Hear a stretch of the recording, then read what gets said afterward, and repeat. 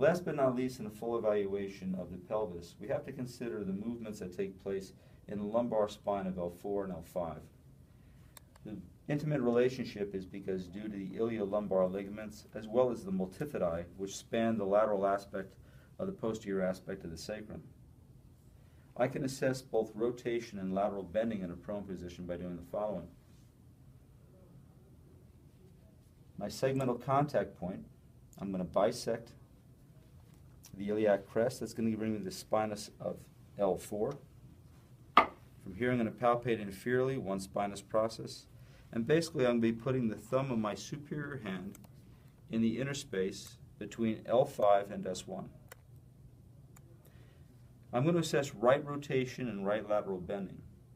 The easiest way to remember on how to do this is when I stand on the right side of the patient, I will be assessing both right rotation and right lateral bending. When you stand on the left side, you're assessing left rotation, left lateral bending. I'm going to assess for two things as we always do. Joint play, the freedom of movement between segments, and end feel. To assess end feel, I'm first going to bring the joint to pretension, in other words, take the slack out of the joint, and then lightly spring through it to feel the resiliency of the normal joint or a lack of resiliency of a restricted joint. What I'm going to do is I'm going to reach around and I'm going to grab the ASIS of the pelvis and I'm lightly going to begin to pull A to P, rotating the pelvis relative to the L5 segment.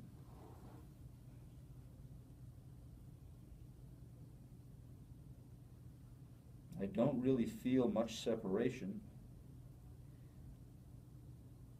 And when I spring through this joint, it feels rather firm and rather hard. So, so far rotation, uh, right rotation of L5S1 seems to be a little bit restricted. To assess lateral bending, what I'm going to do is I'm going to laterally bend the pelvis by abducting the leg to the lower extremity. To this end, I'm going to flex the knee. I'm going to cup the leg. And by abducting the leg, I'll abduct the pelvis, which will laterally bend the spine. Uh, if you could, if you would, I'm just going to have you take these hands, just place them just alongside yourself, other words, just alongside your head. That's good.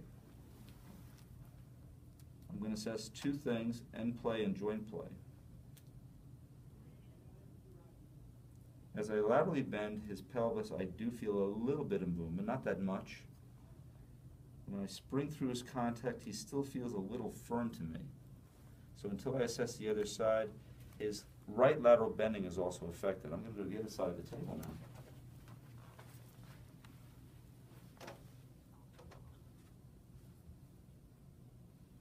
Again, my finger is in between L5 and the sacrum. I feel a little bit of separation between the two here in left rotation. And when I spring, although firm, he's a lot more giving than he was on the other side. So, so far it seems that the left rotation appears to be intact or relatively normal. To assess left lateral bending, once again I'm going to flex the knee. I'm going to cup the knee, and by abducting the hip, it will laterally bend the pelvis, which will laterally bend the spine. As always, I'm just looking for two things, joint play, the freedom of movement between two segments, and end feel the resiliency or lack of resiliency as I spring through that joint. In this case, he has a degree of both joint play. I feel independent movement between the two segments. And in terms of end feel, he's a little bit giving. So it seems that he has a problem more so in right rotation and right lateral bending. I then can always assess L4 as well by just rising my thumb and repeating the procedure using the L4-5 segment. And that would be a comprehensive or full evaluation of the pelvis, in this case in a prone position.